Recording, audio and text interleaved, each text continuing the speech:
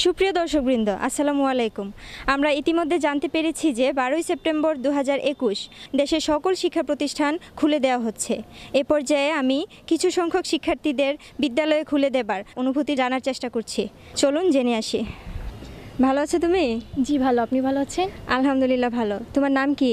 আমার নাম অর্পিতা ইসলাম অর্পা। তুমি কোন বিদ্যালয়ে কোন শ্রেণীতে পড়ো? আমি আনন্দ মাল্টিমিডিয়া স্কুলের অষ্টম শ্রেণীতে পড়ি। বারোই সেপ্টেম্বর তোমাদের বিদ্যালয় খুলে দিতে যাচ্ছে। বিদ্যালয় খুলে দেবার খবর শুনে তোমার অনুভূতি কী? দীর্ঘ আঠেরো মাস পর আমাদের বিদ্যালয় খুলবে জেনে আমি খুবই আনন্দিত।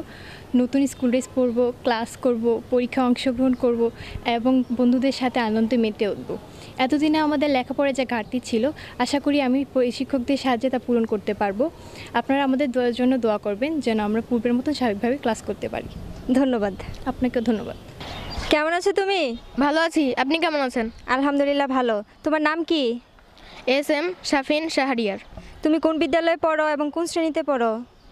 আমি আনন্দ মাল্টিমিডিয়া স্কুল অ্যান্ড কলেজে চতুর্থ শ্রেণীতে পড়ি। বারোই সেপ্টেম্বর তোমাদের বিদ্যালয় খুলে দিবে। এই খবর শুনে তোমার অনুভূতি কি?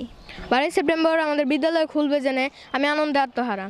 ভাবতেই ভালো লাগছে আমাদের সেই প্রিয় প্রাঙ্গণ প্রিয় শিক্ষার্থী এবং প্রিয় শিক্ষকদের সাথে আবারও দেখা হবে। আমার প্রত্যাশা হলো দীর্ঘদিনের শিক্ষার সন্মতটুকু ফিরে আনতে চেষ্টা করব। ধন্যবাদ।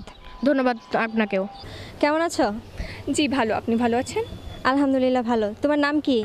আমার নাম ফারজান আক্তার মিলি। তুমি কোন বিদ্যালয়ে কোন শ্রেণীতে পড়ো? আমি আনন্দ মাল্টিমিডিয়া স্কুল অ্যান্ড কলেজে পড়ছি এবং আমি নবম শ্রেণির ছাত্রী।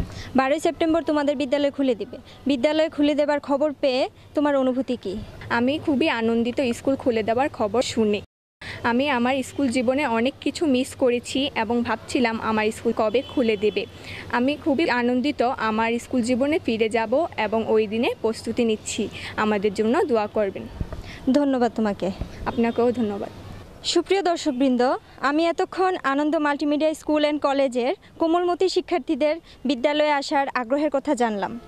তারা প্রতীক্ষায় ছিল কবে কখন হাঁটি হাঁটি পা পা করে প্রাণের বিদ্যালয়ে আবারও যোগদান করবে। অবশেষে তাদের প্রতীক্ষার অবসান ঘটল। আমরা চাই আবারও বিদ্যালয় প্রাঙ্গণ মুখরিত হোক ছাত্র সমাজের ফল্গু ধারায় সুপ্রিয় দর্শক মণ্ডলী, আমাদের সবার প্রার্থনা হোক, করোনা মহামারীর যাবতীয় দিক নির্দেশনা মেনে চলে তারা যেন তাদের শিক্ষা জীবন চালিয়ে যেতে পারে। ধন্যবাদ সবাইকে, সুস্থ থাকুন, ভালো থাকুন। আসসালামু আলাইকুম।